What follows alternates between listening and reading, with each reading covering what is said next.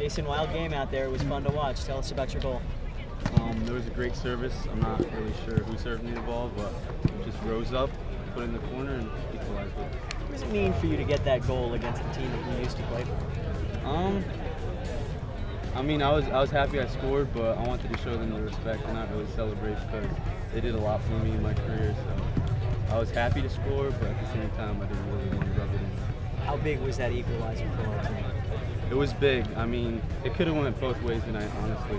We could have won, they could have won. It was just a tough match. I'm happy we got a point. Fantastic result, man. Thank you. Thank you. Appreciate it. John, you made a lot of clutch saves for the team tonight. Talk about this game. Uh, big time game. It was a playoff game. I mean, we couldn't have asked for more. We had a couple more chances. I wish we finished one or two, but Ocean City also had a couple more chances, so it could have went either way. I mean, Jason came in, finished the ball, was on the field for one touch and finished it, so I, I can't complain about that. I mean, that's brilliant right there. Great sub by Brendan. So I'm happy with the result. I'm upset with the result, but I mean, at the end of the day, we came out here with at least a point, and we were down, so we fought hard to come back. How's your shoulder? You took a big collision there in the first half. Uh, it's really tight. I gotta get checked out by the trainer in two three minutes, but I'm not really sure. How important was this point that we got from Ocean City?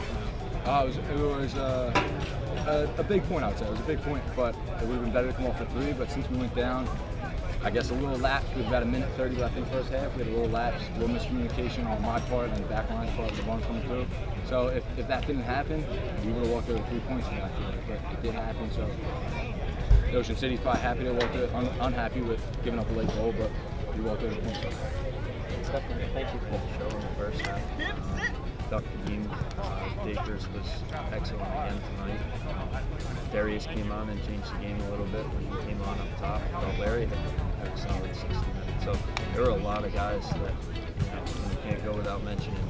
Plummo comes on, scores a minute later. The kid has made an excellent case to start the next game that he's scoring half of our goals and picking up assists on, on a consistent basis. So um, love the response out of all our guys.